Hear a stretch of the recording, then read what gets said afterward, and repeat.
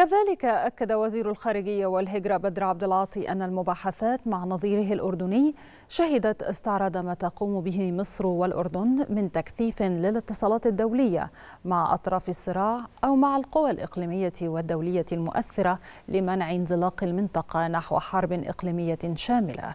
كما أكد عبد العاطي أن المباحثات تطرقت إلى تضامن مصر والأردن الكامل مع الدول مع الدولة والشعب اللبناني الشقيق في ظل ما يمر به لبنان من ظروف دقيقة. ينال من سيادة أراضيه بسبب الاعتداءات الإسرائيلية المستمرة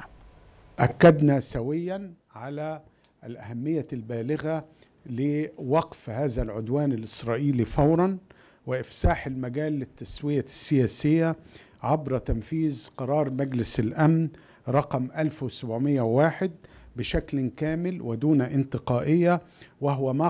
قبله لبنان وأعرب عن استعداده لتنفيذه فورا.